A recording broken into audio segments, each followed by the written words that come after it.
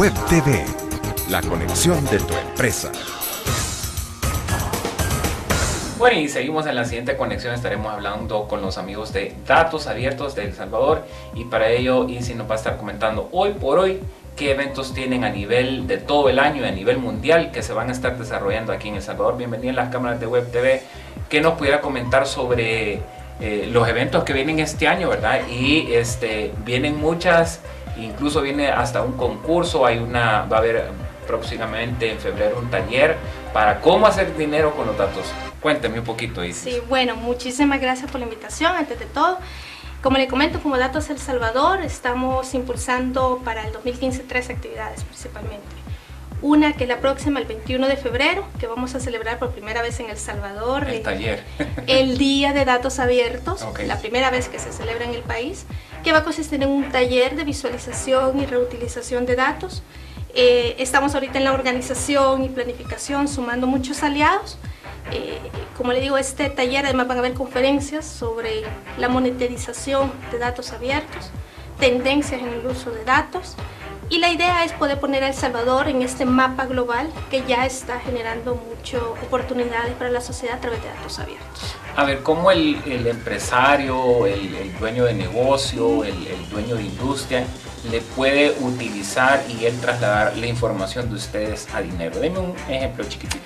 Bueno, de hecho, eh, un ejemplo, y de hecho es local, que es lo que nos, nos enorgullece. El año pasado hicimos el primer App Challenge de datos abiertos en el país y entre las muchas eh, aplicaciones que surgieron y, que de hecho son muy enfatizadas lo que hay afuera, eh, surgen aplicaciones que pueden generar o abrir datos a partir de, por un lado, imagínense, una aplicación que vea el tema de clima y que pueda reutilizar toda esa información para generar un nuevo negocio a partir de la prestación de proyecciones estadísticas o económicas eh, para empresarios sobre en qué momentos es mejor sembrar, en qué momentos se está haciendo la tendencia por cambio climático. Eso es imposible hacerlo si no tiene los datos meramente puros, que es la esencia de datos abiertos. Una aplicación que es una de las más famosas es la de transporte. En Inglaterra, que fue la pionera, eh, esta aplicación está generando cuál cantidad de, de dinero porque le permite al usuario no solo tener una aplicación, sino que una solución web, conocer exactamente, por ejemplo, los horarios de, autobuses, eh, cómo están los estados de las, de las vías, etc. Y una que es la más famosa es Waze. Waze es una aplicación basada en datos abiertos. Entonces, cuando nos vamos a ver todas estas aplicaciones que son muy famosas y las vemos por detrás, nos damos cuenta que lo utilizan es pura y netamente dato puro. Las empresas que analizan mercados son las empresas que ya están utilizando datos para precisamente generar tendencias o proyecciones para empresarios. Interesante. Este, ¿Cómo se llama la organización de ustedes? ¿Tiene algún costo? Ah, en África, se, poniendo los ejemplos que usted estaba poniendo, existe una de que es muy similar a, la, a lo que vivimos acá, ya era, eh, eran los puntos de robo, aquí son los puntos de asalto, ¿verdad? Entonces, todo el mundo como chequeaba antes de salir de su casa para ver dónde es que estaban asaltando, ¿verdad? Entonces, ¿cómo es que el, el, el, salvadoreño común puede hacer negocio con la fundación de ustedes? De hecho, eso es muy interesante que toca, porque algo que nos permiten, lo que nos permiten hacer, eh, no quiero decir solo aplicaciones, porque otros sirven para muchas cosas, es precisamente hacer al usuario o al cliente o al ciudadano un protagonista de la misma aplicación. Eh, la aplicación que usted comenta de asaltos, conocí una en, en, Colombia, por ejemplo, que le permitía, los usuarios iban dando como señales de acá asalta mucho, en esta calle, acá hay muchos muertos, en esta calle, y usted iba y buscaba una casa por esa zona, usted podía ir a la aplicación y ver los comentarios de todos los vecinos alrededor, entonces tomar una mejor decisión.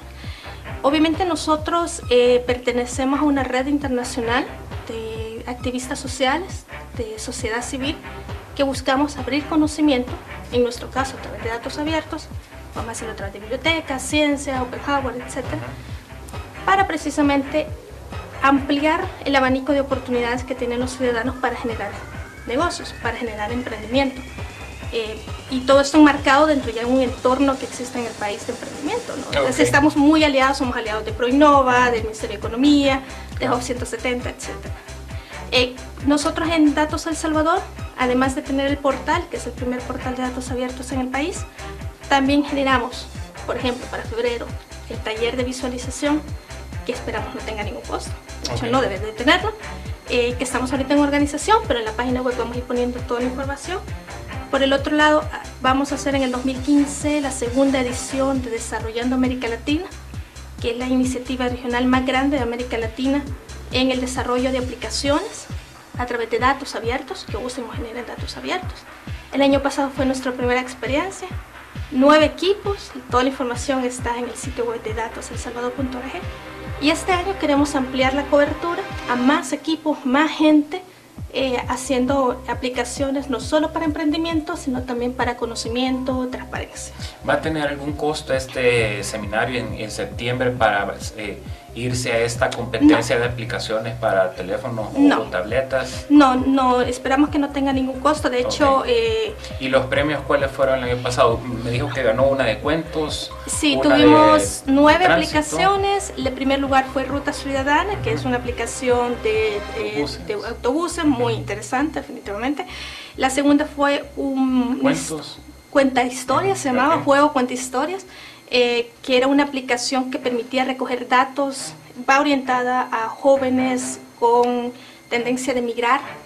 Entonces recoge datos para análisis de sociólogos, politólogos, etc. Y la tercera es mu- muy, interesante porque es una aplicación que permite rastrear e identificar el perfil de emprendedores en ciertas áreas específicas. Ah, Esa- es algo muy interesante, nos da mucho orgullo que todas están ya Funcionando. Sí, y o invirtiendo con inversionistas y todo lo demás. Este año nos encantaría tener el doble de aplicaciones disponibles, unas 20 sería ideal, pero eh, vamos a abrir la convocatoria como por julio, más o menos. Ahorita estamos, como es una iniciativa regional, todos los países tenemos que ponernos de acuerdo Ok. y volver a empezar. Pero los ganadores el año pasado ganaron, además de premios en efectivo, ganaron equipo tecnológico, eh, ganaron eh, una rueda con inversionistas, que la estamos haciendo ahora en los próximos días. Ok. Ganaron la oportunidad de probarse a nivel regional, fueron a la competencia regional de América Latina, donde los tres mejores de El Salvador compitieron con los tres mejores de México, Chile, Uruguay. Eh, y luego, y ganaron además, eh, y ganaron una capacitación con Ernesto Olmedo, que es de Global Shaper, un empresario destacadísimo en el país, sobre venta de apps. Lo bonito de DAL es que nos permitió unir varios perfiles. Tuvimos por un lado a Casa TIC, a la Cama Salarial de STIC, tuvimos a empresarios juveniles, a Hub 170, el Centro de Emprendimiento, eh, a ProInnova, que es pues, el referente en temas de innovación, eh, a los amigos de Creative Commons, que somos también aliados con ellos, eh, la Asociación de Bibliotecarios, que es para nosotros un aliado natural y, y que ha acompañado a todas las actividades de datos en El Salvador. Y tuvimos también a nivel internacional el apoyo financiero de IGOS, que financió todo esto. Eh, interesante, yo creo que al final eh, viene a ser como una biblioteca virtual lo, lo de ustedes, ¿verdad? Viene a ser un gran repositorio de datos. Lo interesante es que estos datos, a diferencia de una biblioteca normal, nos permite realmente reutilizarlos.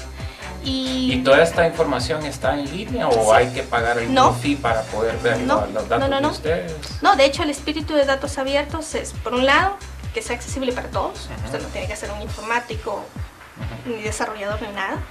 Segundo, que son datos puros, es decir, no va a encontrar porcentajes o percepciones, sino que el dato puro.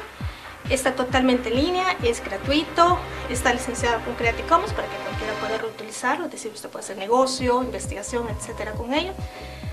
Y es de libre acceso. Nosotros, el objetivo de Datos El Salvador es que la gente reutilice datos. Y Ok. para eso nos funcionan mucho estas actividades para enseñarle a la gente a cómo reutilizarlos. Y el App Challenge, pues obviamente para monetizar. Bueno, te- nos despedimos también agradeciéndote por habernos aceptado la invitación, que usted también puede donar, si usted es dueño de colegio, si tiene Sí, alguna institución, puede donar los datos. ¿Cómo Sí. se donan estos datos? De hecho, tenemos cinco formas en que pueden ayudarnos. Uno ¿Y es... para qué alguien va a donar sus datos? Exactamente. Uno, buscamos gente que, que nos ayude a mejorar nuestro portal, que nos dé feedback de de cómo está. Segundo, buscamos gente que nos done datos. Eh, estudiantes de universidades tienen una cantidad industrial de datos. Eh, aquellos que le hicieron una investigación y ya pasó, etcétera, que puedan donarnos los datos. Tercero, buscamos aquellos que nos ayuden a abrir datos, aquellos interesados en conocer cómo hacer una limpieza, una extracción de datos, bienvenido sea. Eh, y por el otro lado, buscamos gente que haga cosas con estos datos, que periodistas que hagan investigación, etc. ¿Por qué donarnos datos? Bueno, porque realmente cuando nosotros empezamos creímos que iba a ser un poco más complicada la situación. Pero cuando empezamos abriendo datos y todo el mundo empezó a utilizarlos, tenemos niveles de descarga impresionantes de datos. No, y uno, uno, ¿cuánta gente hace su tesis y queda el libro ahí guardado? Exactamente. En la universidad. Un Exactamente. trabajo de cuánto, ¿cuánto dura una tesis? Seis meses por lo menos. Un año, Un ¿verdad? año, en creo. todo lo que la defiende y la pule. Entonces imagínense usted matarse levantando todos estos datos, yendo a un montón de lados, Sí. entrevistas. ¿Qué tal si dona y nos ayuda a los que vienen antes? Y vamos haciendo esa cadena de compartir conocimiento. Al final es lo que nos va a hacer mejor tomar decisiones. Muchas gracias por aceptar la invitación. No, y sí, yo creo que es importante lo que ellos están haciendo. Eh, la única forma de poder salir adelante de toda la violencia que está viviendo el país es tener más conocimiento, mejor conocimiento para poder tomar sabias decisiones. Que sigamos con aquí en la web con Web TV.